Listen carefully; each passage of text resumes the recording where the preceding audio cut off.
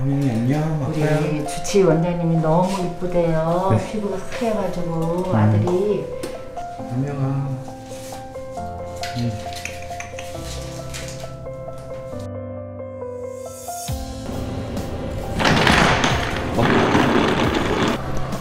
한 손에 카메라 이렇게 들고 그냥 찍고 있어요 자 이제 출발합니다 병원에 가서 뵐게요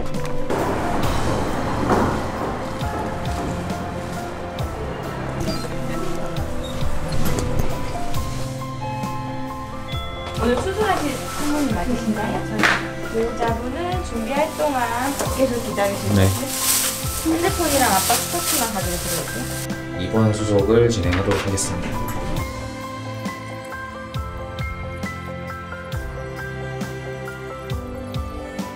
이제 수술 시간이 얼마 남지 않았습니다 어, 제 집사람도 많이 긴장이 되는데 어, 저도 많이 긴장이 됩니다 아, 시간이 가는 듯 안 가는 듯 가는 듯 안 가는 듯뭐 이래요 복잡 미묘합니다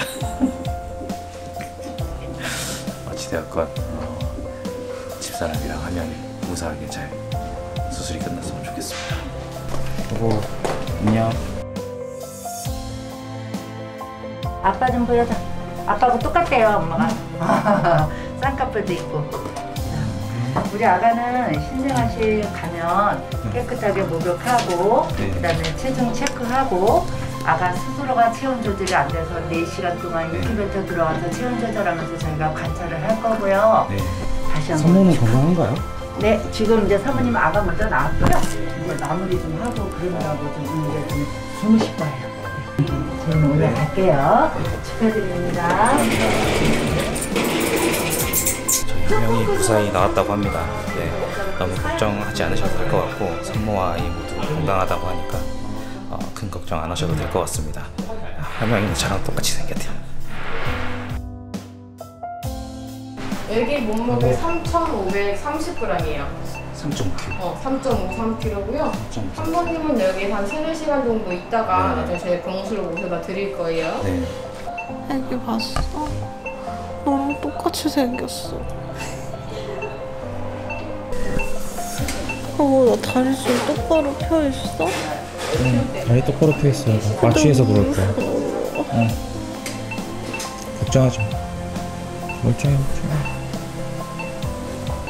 고생했어. 봤어, 오늘 제대로?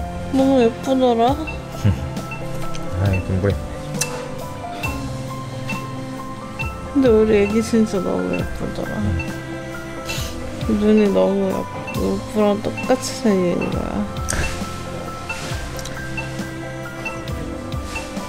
아니 나왔는데 응, 하명이가 눈을 감고 있는 거야 응, 자는 것처럼 응. 날 안 보더라고 어. 응. 눈을 이렇게 감고 애기가 있었어 울음 끝이 짧은가 봐. 애기 조금 울다가 안 우는 거야. 어. 근데 눈이 여보랑 똑같은 거 있지. 눈이랑 코랑.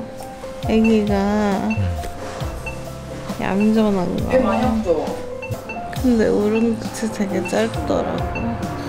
안 울면 좋지 에에 하다가 또 자더라. 보호자분들은 여기 계속 계실 수는 없어서 어, 마무리 인사하시고 바깥으로 대기하실게요. 병실에 가 계시거나 여기서 한 3, 4시간 지켜보고 병실 올라가실 거예요. 아프면 꼭 말해. 알았지? 어, 가지마. 좀 이따 볼 건데. 안녕. 이따 봐. 응.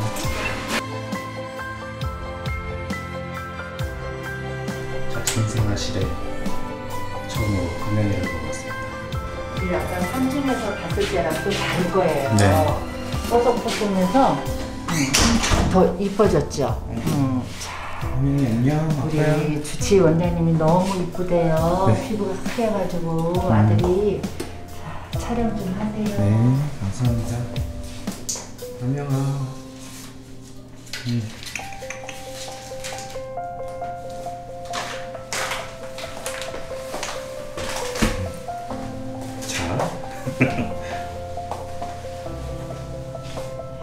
그리고 아버님이 반갑다고 아가손 이렇게 잡고 인사 좀 해보세요. 이렇게 잡으세요. 꼭 잡아요.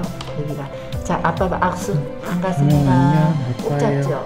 아가가 벌써 손톱이 이렇게 하얗게 길렀죠. 네. 네네네. 그래서 이렇게 잘못하면 얼굴 스크래치 어. 날수 있어요. 네. 그래서 이렇게 다시 원위치.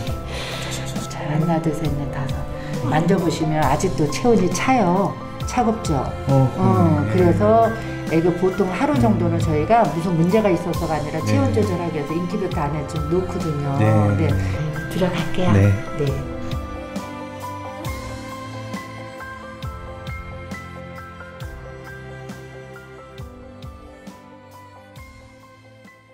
드디어 출산일이 다가왔습니다. 지금 이른 아침에 촬영을 하고 있는데 지금 목이 컨디션이 별로 좋지 않아요. 이 점을 좀 양해를 해주시고 좀 오전부터 정신이 없습니다. 많이 떨리고 긴장되는 하루예요. 네, 굉장히 떨리고 많이 긴장되는 하루고 처음 임신을 했다는 소식을 들었을 때는 아, 열 달이라는 이 개월수가 까마득하게 느껴졌는데 벌써 열 달이 돼서 3.3kg의 우량아로 지금 엄마의 뱃속에서 엄마와 아빠를 만날 준비를 하고 있습니다. 저도 아빠가 처음이고 저희 집사람도 엄마가 처음인데 이 화명이를 키우면서 많은 어려운 점들이 많을 거예요. 이제 육아가 생각보다 쉽지 않잖아요. 육아가 굉장히 힘들고 저는 어찌되었고 출근을 해야 되는 입장이고 하다 보니 집사람이 어쩔 수 없이 이제 똑박 육아를 할 수밖에 없는데 이 점도 좀 마음에 안 들긴 합니다. 이 힘들고 험난한 대한민국에서 태어나서 앞으로 커 나가야 될 우리 하명이 건강하고 슬기롭고 씩씩하게 잘 자라줬으면 좋겠고요. 열 달간 하명이를 뱃속에 품고 있었던 우리 집사람, 우리 와이프 너무너무 고생이 많았고 어, 오늘은 드디어 하명이가 나오는 날이니까 몸조리를 잘해서 건강하게 같이 육아를 했으면 좋겠습니다.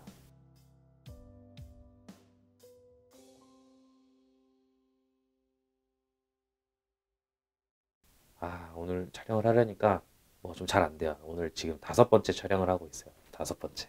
잘 촬영이 됐는지도 사실 잘 모르겠습니다. 네, 뭐 그렇네요. 뭐 정신이 없어요. 네.